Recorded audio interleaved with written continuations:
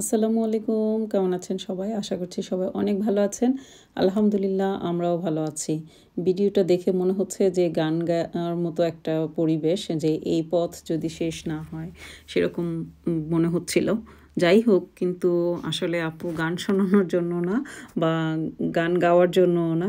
আমি আজকে আপনাদের সাথে শেয়ার করব আমার জীবনের একটা ছোট্ট এক্সপিরিয়েন্স যেটা অনেকেরই কাজে আসবে এবং আমার মনে হয় যে আসলে আমাদের এই ছোট ছোট এক্সপিরিয়েন্সগুলো যদি আমরা একজন আরেকজনের সাথে শেয়ার করি, তাহলে কিন্তু একজন আরেকজনের কাছ থেকে একটু জানতে পারি বা শিখতে পারি।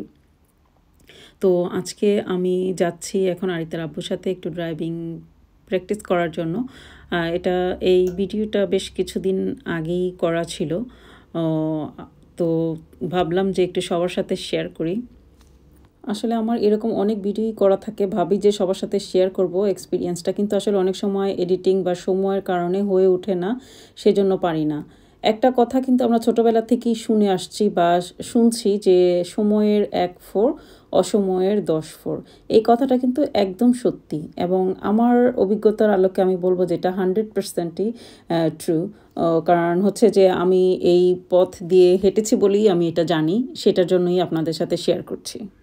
তো আমরা সবাই কিন্তু একাডেমিক শিক্ষাটা নেই বা প্রাতিষ্ঠানিক শিক্ষাটা নেই, কিন্তু অনেক সময় আছে যে কিছু ট্রেনিং বা কিছু কোর্স বা কিছু জিনিস যেগুলো আমাদের শিক্ষা দরকার, কিছু কাজ আমাদের যেগুলো খুবই জীবনের সাথে ওতপ্রোতভাবে জড়িত, যেগুলো জেনে রাখা খুবই ভালো বা জানা থাকলে আমাদের কখন যে কোন কাজে লাগবে সেটা আমরা কখনো বুঝতেই পারব না হয়তো বা তো সেরকম একটা বিশাল বড় ব্যাপার হচ্ছে ড্রাইভিং শেখা। তো যারা বিদেশে থাকে, তারা তো ছোটোবেলা থেকেই ইন্টেনশন থাকে যে সিক্সটিন বা সেভেন্টিন হলে এইজ তারপরে তারা পারমিশন পেয়ে যায় ড্রাইভিং শেখার জন্য বা লাইসেন্স নেওয়ার জন্য। কিন্তু আমরা বাংলাদেশে আসলে অনেক সময় এটা হয়ে ওঠে না, বার, কারণ দরকার হয় না। বাংলাদেশে কিন্তু সবাই আলাদা ড্রাইভার রাখে।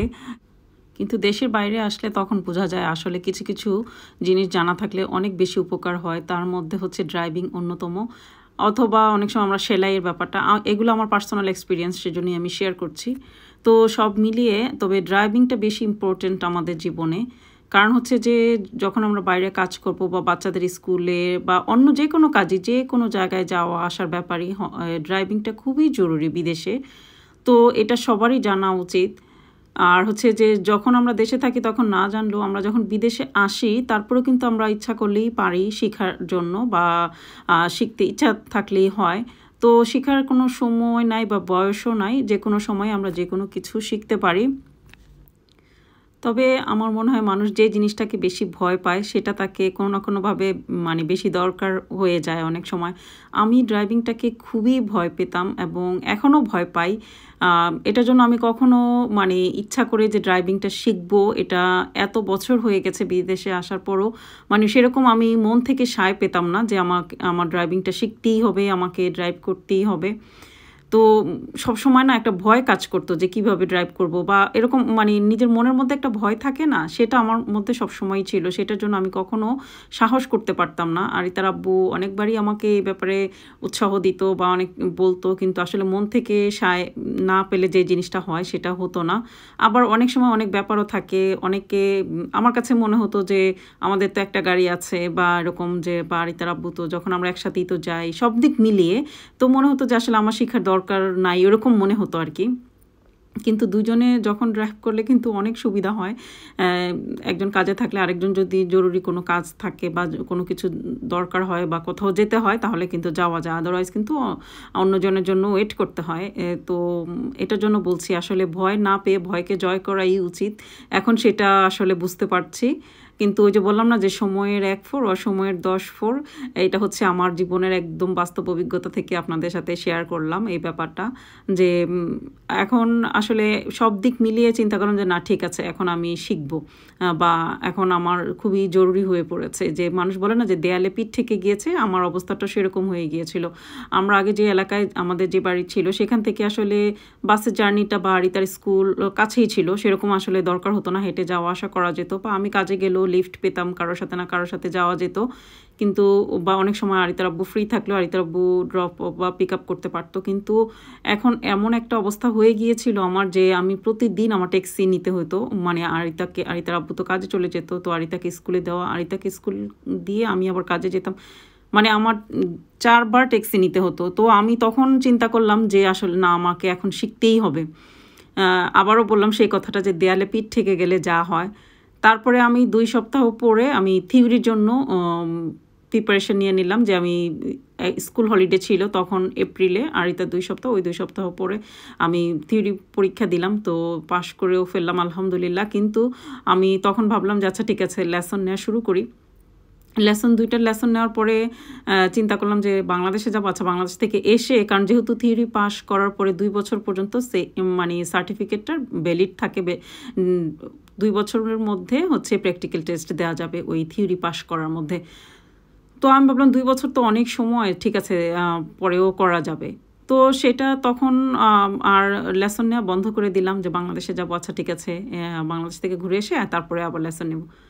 ঠিক বাংলাদেশে ঘুরে আসার পরে আবার উইন্টার চলে আসলো, আবার কাজে বেক করলাম। তবু এখন বিজি যে ইনস্ট্রাক্টরের সাথে সময় পাওয়া বা আসলে এটা এখানে দুইটা জিনিস কাজ করে। এক হচ্ছে যে নিজের সময়, কারণ আমরা তো অ্যাভেলেবেল থাকি না সব সময়। আমরা যেহেতু বাইরে যারা বাইরে কাজ করে, তাদের তো কাজের সময় থাকে এক। আর দুই হচ্ছে ইনস্ট্রাক্টরেরও তো ফ্রি টাইম থাকতে হবে। মানে ওই সময়টাতে আমি যে সময় ফ্রি থাকব, সেই সময় সে হয়তো বা ফ্রি থাকবে না। এরকম আর কি ব্যাপারটা হয়ে যায়। তো এই জন্য লেসন নেওয়ার সময়ও কিন্তু আমাদের অনেক ঝামেলা হয় মানে টাইম ম্যানেজ করাটা। তো আবার যে আরিতার আব্বুর সাথে যে শিখব সেটাও তো হয় না, কারণ সেও তো বিজি থাকে না, সে তো আর ফ্রি থাকে না, বা যখন বাসায় আসে তখন তো সে টায়ার্ডও থাকে। তো এটা তো আর সম্ভব হয়ে ওঠে না, আর ইনস্ট্রাক্টরের গাড়ি দিয়ে ড্রাইভিং শিখতে হয়, এটাই নিয়ম, কারণ হচ্ছে যে সেখানে দুইটা কন্ট্রোল থাকে, আর হচ্ছে এমনিতে আমাদের গাড়িতে তো থাকে না। যাই হোক, তারপরে কিছু করার নেই। ভাবলাম যে আচ্ছা ঠিক আছে, এখন লেসন নেওয়া শুরু করি, কিন্তু উইন্টার চলে আসলো, দিন ছোট হয়ে গেল, অন্ধকার হয়ে যায়। তখন ভাবলাম যে আচ্ছা ঠিক আছে, তাহলে কয়েকদিন পরে নিব, কারণ এখনও তো আমার আরও দেড় বছরের মতো টাইম আছে। তারপরে শুরু হয়ে গেল করোনা লকডাউন আর তারপর থেকে তো সব কিছু আমরা বাসায় বন্দি হয়ে গেলাম। আর কিছুতেই আমার লেসন নেওয়া শুরু হচ্ছিল না। আর হচ্ছে যে ইনস্ট্রাক্টরও অ্যাভেলেবেল নাই, অনেক ইনস্ট্রাক্টর লেসন দিচ্ছিল না। সব মিলিয়ে আসলে আমার আর মানে টাইম করে আমি সেরকম করে শিখতে পারছিলাম না। ইন দ্য মিন টাইম আরিতার আব্বু আমাকে গাড়িও কিনে দিল যাতে আমি নিজের গাড়ি দিয়েও শিখতে পারি। অনেক সময় আরিতার আব্বু যখন ফ্রি থাকে, সেটাও হয়ে ওঠে না। কারণ ওই যে বলো না যে টাইম যখন সে হয়তো বা ফ্রি থাকে তখন হয়তো আমার কাজ থাকে, অথবা যখন আইতার আব্বু বাসায় আসে, তখন সে টায়ার্ড থাকে। ওরকম করে হয়ে ওঠে না বা আরিতা বাসায় থাকে, তখন আরিতা থাকলে তারপর আরিতাকেও নিয়ে যেতে হয়। আর যেহেতু আমি একেবারেই নতুন মানে এখন তো পারি বা এখন তো শিখেছি, এখন তো ড্রাইভ করতে পারি, ঠিক ওই সময়টাতে একদম নতুন ছিলাম, সেটার জন্য বলছি আর কি সেই সময়টাতে। আর আমার নিজের মধ্যেও একটা ভয় কাজ করে। এখন আমি তো বললামই যে আমার ভয়টাকেই বেশি সমস্যা হয়েছে আমার ভয়, যে আমি খুবই ভয় পাই এই ড্রাইভিংয়ের ব্যাপারটাতে। তো এটার জন্য আসলে আমার হয়ে উঠছিল না কিছুতেই। তো আমার অভিজ্ঞতা থেকে বলছি প্লিজ কেউ ভয় পাবেন না, কারণ আমরা চেষ্টা করলেই পারি সব কিছু করতে।